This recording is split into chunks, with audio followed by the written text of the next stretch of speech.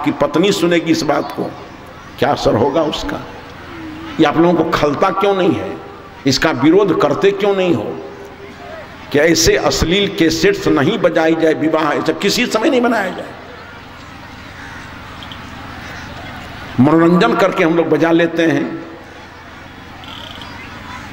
चरित्र पर खतरा पड़ रहा है।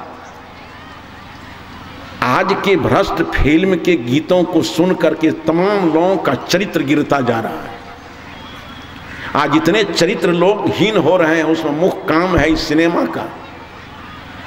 और इतनी गिरावट आपके पास आई है, आजकल जगह जगह अष्टजाम होता है। हे, हाथ जोड़कर हम कहते हैं कि राम नाम की मर्यादा को नष्ट मत करो।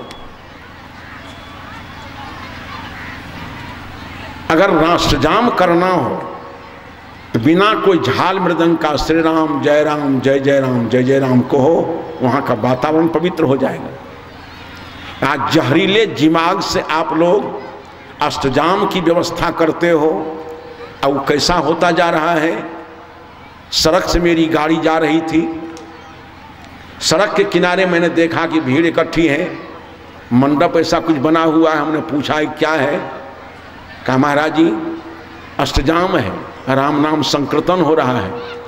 हमके लगता है कि इस देश का भविष्य उज्जवल होने वाला है।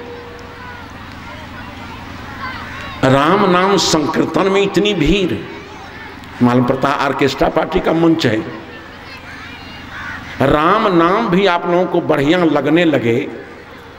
जब हमारी गाड़ी आगे बढ़ी, सड़क के किनारे ही वो दृश्य था सब युवक सब आगे खड़ा है तो, तो हमको और खुशी हुई।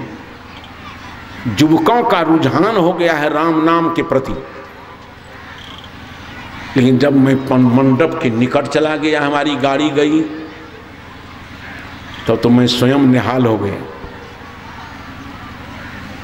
मंडप के चारों तरफ़ घूम करके जो नाचने वाला था भीतर से बाला था नाचने वाला।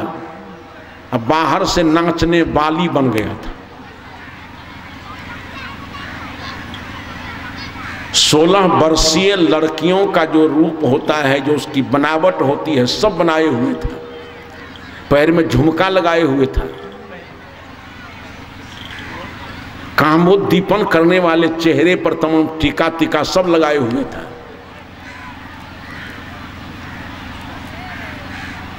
अब फ़िल्म की सरी गली धुन में राम नाम गा रहा था। युवजन समाज के लोग युवा वर्ग के लोग बूढ़ा को ठेल करके उधर कर दिया। सब आगे सीना ताने हुए हैं। उसको पता नहीं चल रहा है कि हरे राम हरे राम हो रहा है, कि हरे रावण हरे रावण हो रहा है, हरे कृष्ण हरे कृष्ण हो रहा है, कि हरे कंस हरे कंस हो रहा है। इतनी बुद्धि मारी गई। वो राम नाम नहीं समझ रहा था। धुन को सुन रहा था, गाने वालों की भाव भंगिमा को देख रहा था। उसकी काम भावना को जगाने में वो राम नाम संकीर्तन प्रेरणा दे रहा था। इतना बड़ा पतन का कारण हमारे देश में आया है। आज के तमाम प्रबुद्ध समाज को इस पर ध्यान देना चाहिए कि इस अष्टजाम को बंद कर दो। इतना खर्च करके राम नाम क्यों करते हो? अब उधर कार्यालय से बोल रहा है एक आदमी कि फलना नंबर के गिरोह आ जाइए, आप लोगों का समय हो रहा है। कुछ देर हम खड़े रह गए वहाँ दृश्यों को देखने के लिए। उसका निष्कर्ष निकालने के लिए आखिर हो क्या रहा है? एक गिरोह का नाम हुआ कि फलना गिरोह कीर्तनियाँ आ जाए मंडप में, आ नहीं रहा है। तो कि पुकारा जाता है तो दल आता क्यों नहीं है? तो कोई शराब के पोलोथीन लिए हुए आ कोई गांजा भर करके दम लगा रहा है। हमने कहा, वो सब क्या कर रहा है? कहा, राम नाम गाने का मूड बना रहा है। जो शराब बना करके राम राम कहने का मूड बनावे, वो देश को नरक में नहीं ठेल देगा तो और कहाँ जाएगा? बहुत संभलना है। बिगाड़ का ये कारण नहीं है। अश्लील साहित्य है। अश्लील पोस्टर्स है। आप चौक चौराहे पर देखते हैं, जितने अश्लील पोस्टर्स हैं महात्मा विनोबा, मध्य प्रदेश के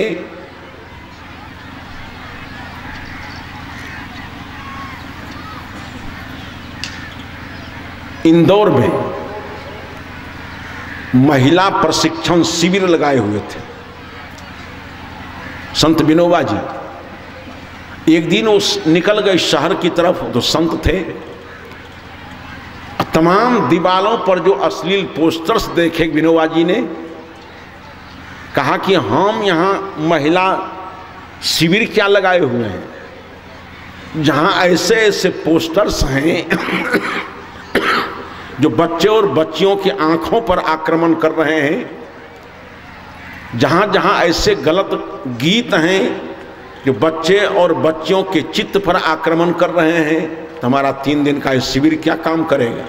शायद आप लोगों को याद होगा। तमाम लड़कियों को विनोबा ने उभारा कि बेटियों, अपनी सतित्व की रक्षा के लिए, अपनी मर्यादा की रक्षा के लिए क्रांति करो। मनो विनोबा जी से निर्देश पाकर के वो तमाम नवोढ़ाएँ भारत सरकार से मांग करने लगी।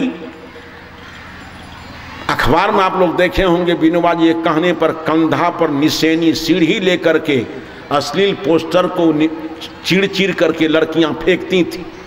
भारत सरकार से मांग करती थी कि अश्लील पोस्टरों का प्रकाशन बंद हो, अन्यथा इन दृश्यों को देख करके हमारे भाई लोगों का मस्तिष्क खराब होता है और चौराहे पर मेरी प्रतिष्ठा लूटी जाती है।